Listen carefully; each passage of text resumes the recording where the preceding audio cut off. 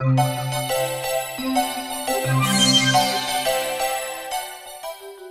kidneys are the main organs of osmoregulation and excretion.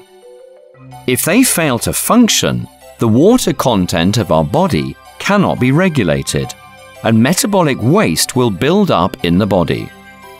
This may cause death. A dialysis machine or kidney machine can help patients with kidney failure to remove metabolic waste from their body. How does the machine work? A dialysis machine consists of a system of dialysis tubing bathed in a dialyzing fluid. The dialysis tubing is differentially permeable. It only allows small molecules such as urea and glucose, but not large molecules such as plasma proteins and blood cells to pass through.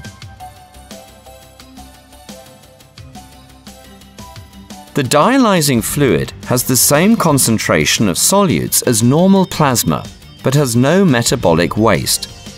Therefore, urea diffuses from the blood to the dialysing fluid down the concentration gradient, while glucose and other useful substances are retained in the blood.